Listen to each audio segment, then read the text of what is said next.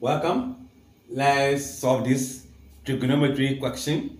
We have to prove that the square root of 1 plus sine theta divided by 1 minus sine theta is the same as what? Sec uh, theta plus what? Tan theta. So let's deal with the left hand side. What are we going to do? It is a square root.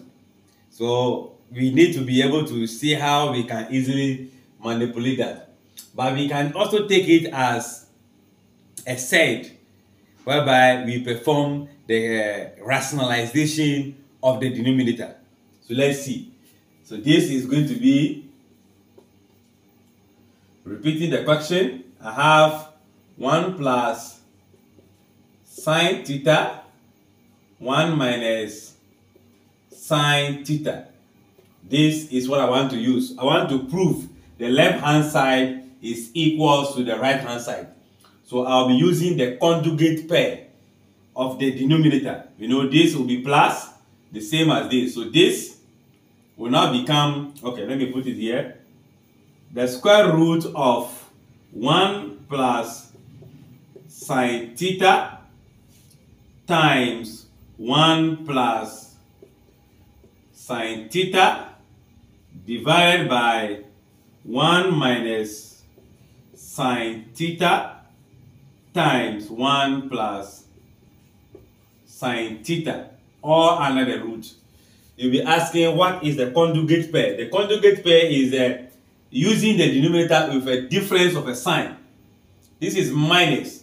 We use the plus so that 1 plus sine theta divided by 1 plus sine theta will cancel. The question will come back to original. And in the course of this, I'll be able to uh, find some identities to relate with sec square sec theta plus what? Tan theta. So let's expand the numerators and the denominators. We are doing this for the denominator become a, uh, a difference of two square. First term, second term, pl minus plus. You see? So we can use a difference of two square.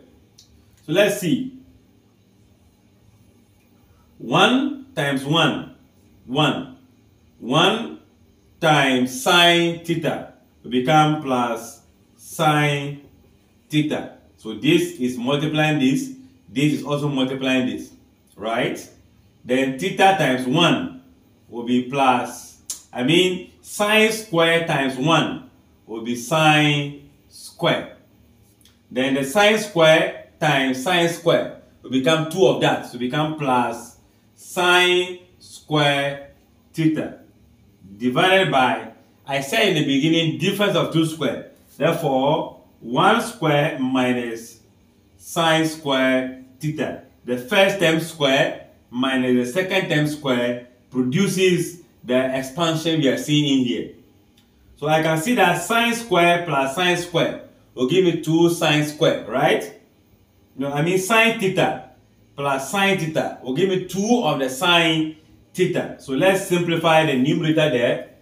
So the square root of 1 plus 2 sine theta then plus sine square theta all divided by 1 square will still be 1 minus the sine square theta. Alright, I think we are able to arrive at a different denominator in terms of what we have in the question. But we can also take uh, think of an identity, okay? You know, if I have sine square theta plus cos square theta, that gives me 1, right? So if I make the, the uh, cos square theta the subject, this will be going there, meaning the cos square theta equals to 1 minus what? Sine square theta. And this is what I am seeing in my denominator.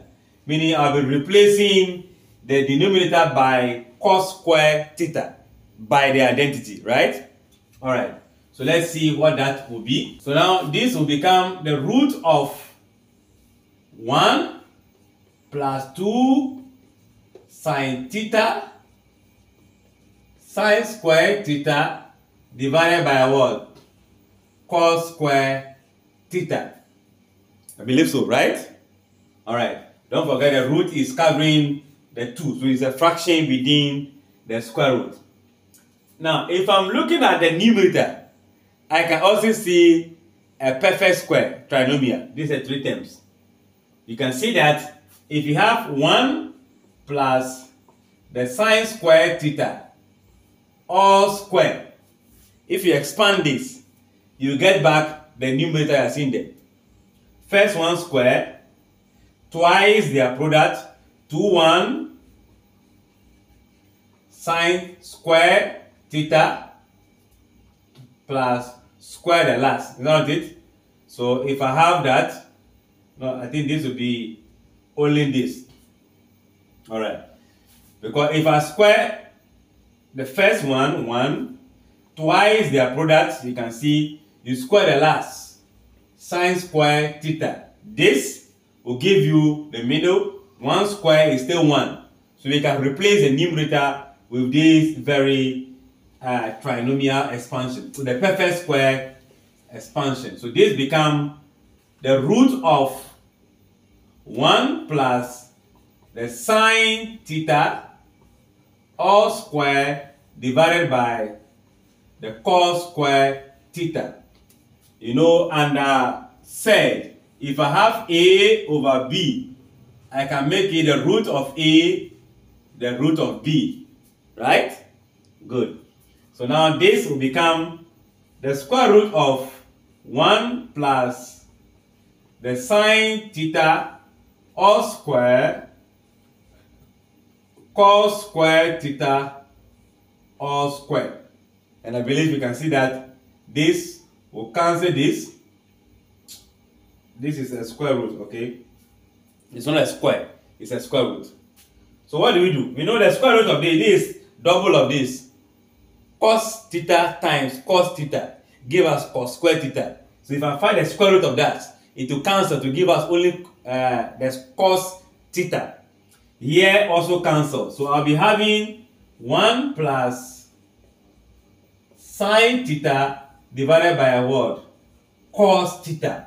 The square will cancel from the square root. Or the square root will cancel the square, right? Alright. Now what do we do? We are having numerators to be a bi binomial. So we can separate them with the same denominator. In the sense that I can have 1 over the cos theta plus the top one will be sine theta over cos theta. And I believe this is an inverse identity of sec square. So this become the sec, I like the square. So it is a sec theta, not sec square, okay? It's a sec theta. Then the identity of sine theta over cos theta also give us tan theta. So you can see that we are able to prove the left hand side to be equals to the right hand side. So we have proved this statement. I believe you followed. Maybe you can take your time and go through. Like, share, and comment. Bye-bye.